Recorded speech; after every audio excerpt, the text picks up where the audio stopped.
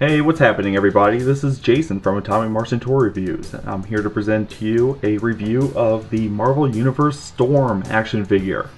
And here Storm is in her single card action. It comes with, uh, includes collectible comic shot, which is right here, which is not very cool.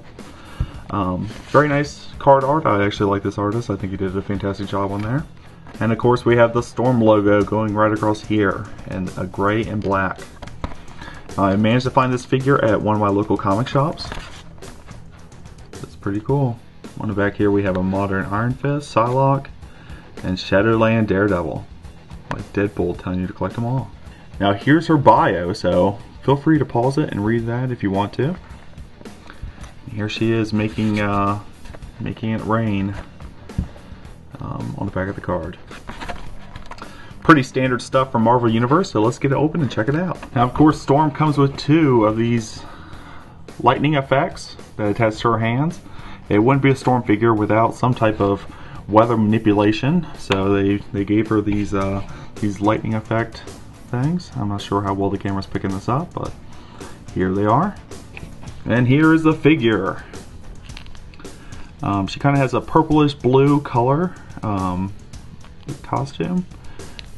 Her head sculpt looks really nice. I like the hair. I like how it droops down the back. And of course her headdress along the front. And she has a solid black neck. I guess it's supposed to meld into her costume. And I also like her cape. I think the cape looks fantastic. I think it's a very good representation. Now, the rest of her body is kind of blackish blackish colored legs except for her knees. Her knees are this the same like dark blue. There. She has a three point bend at the knee. Her hips go up and down like that. Now this is more of the classic Marvel Universe female body style. Uh, she doesn't have the thigh twist action like X23 came with. And her ankles go up and down. But not when they rotate, but they don't go side to side. But you can make it so that she look she looks like she's flying. So you just kind of straighten everything out here. And it looks like she's flying.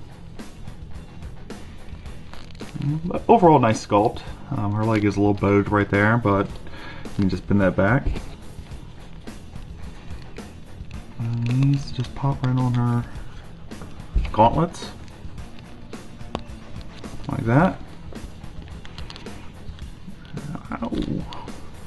You've been thunderstruck.